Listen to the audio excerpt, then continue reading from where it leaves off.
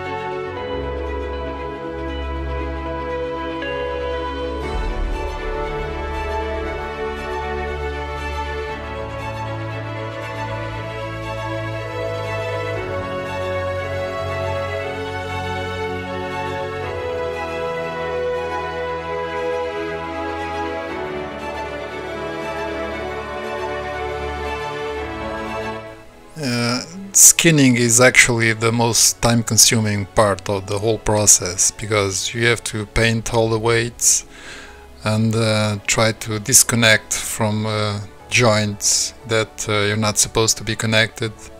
So you have to paint and mirror the weight map of the skinning. Um, it's a lot of work. It's uh, very time consuming and you have to have a lot of patience. That's why I'm not a rigger. I mean, I know this coming from an animator is a bit of a paradox, but I really don't have the patience to be a rigger. I mean, I rig things when I need it, but uh, if I can avoid it and spend more time doing animation, it's it's the way I prefer best, actually.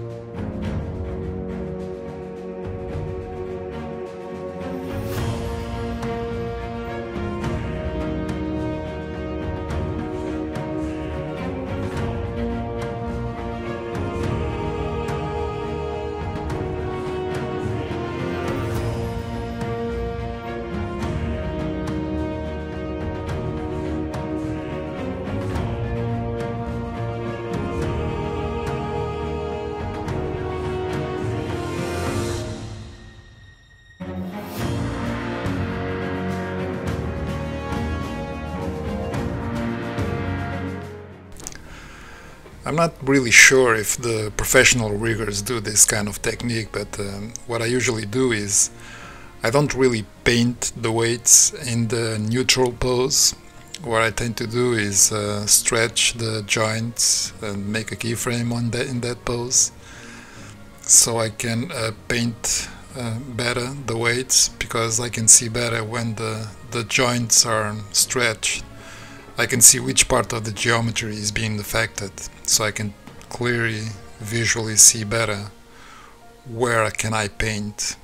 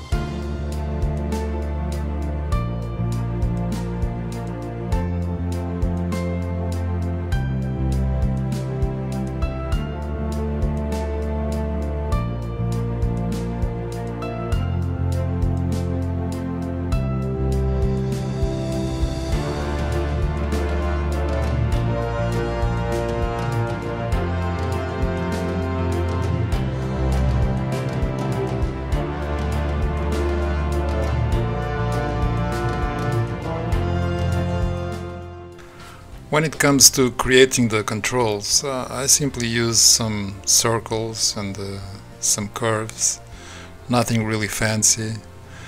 Uh, as an animator, I tend to um, create as fewer controls as possible, simply because when I'm animating, I don't really want to have uh, a lot of uh, visual noise. I want the fewer controls as possible so I can be more spontaneous when I'm doing the animation.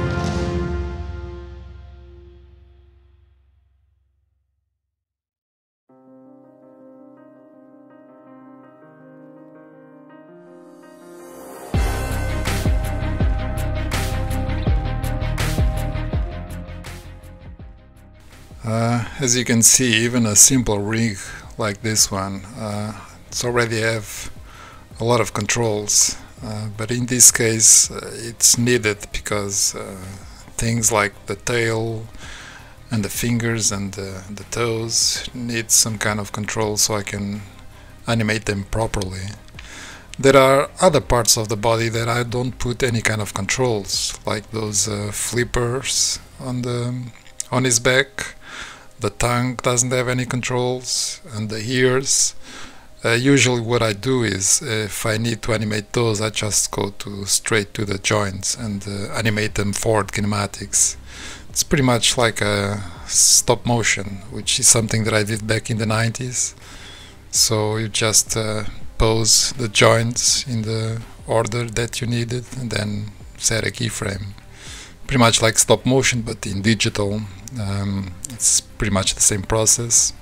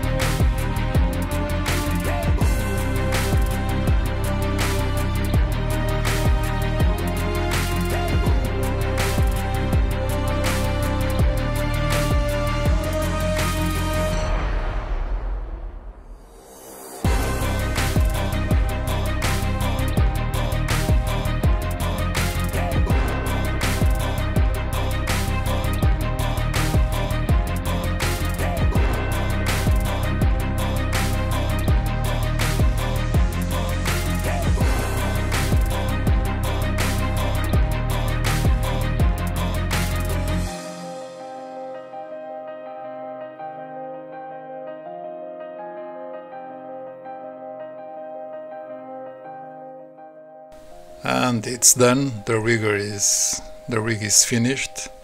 It's not a spectacular rig but it it works. And uh, the next stage that I usually do is just to test the rig overall see if the manipulators are working properly. And then I go uh, and do some kind of uh, walk cycle or run cycle to test the, the rig and make the uh, adjustments that I need if needed, to um, finishing the character.